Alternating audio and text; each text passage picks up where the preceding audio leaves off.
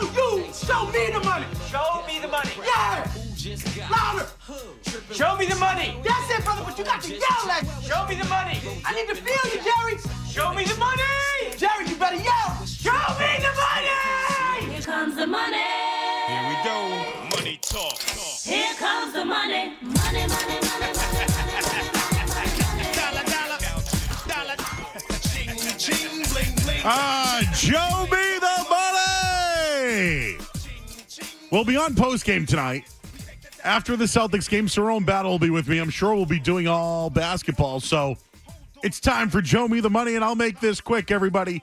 Texans at Ravens. I'm going under 44. Baltimore's defense. Let's keep that bet going, baby. Baltimore's defense allowed the fewest points this season. Ranked number one in scoring defense, sixth in total defense this year. They met in week one. Baltimore won 25 to 9. It was CJ Stroud's first game. He was held out of the end zone and was sacked five times.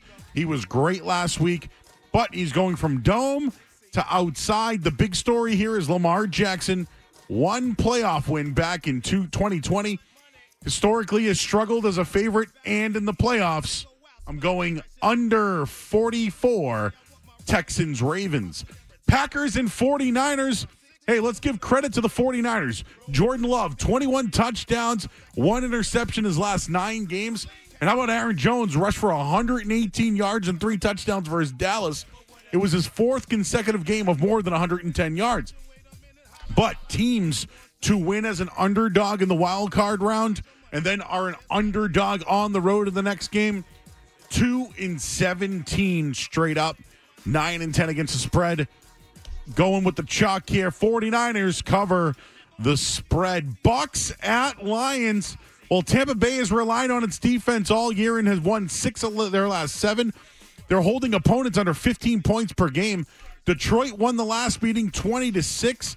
Baker Mayfield 3 0 against the spread in his playoff career, but Jared Goff, he will be the difference in this one. Playing indoors. I'm going Bucks plus six and a half, but I think the Lions advance. And this is my play of the week. Chiefs at Bills. I'm going under 46. Bills have won the last two matchups, including the 20 to 17 last month. But the Chiefs have won the last two playoff matchups. You may remember that 42 36 game just a couple of years ago. But the Chiefs defense has carried them. They've been having drops offensively. And I'll bring this one up rest. Teams with the rest advantage, small rest here.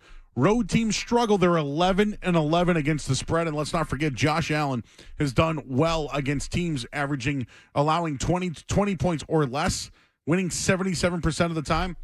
I'm going under 46. I think that's a low scoring game. I think the Chiefs win in advance. So there's your Joe Me the Money divisional round. You can read, uh, you can listen to our podcast on 985thesportshub.com if you missed it. Check out the weekly spread on NBC Sports Boston. It will be on probably immediately after the Celtics game tonight, their post game coverage uh, as well.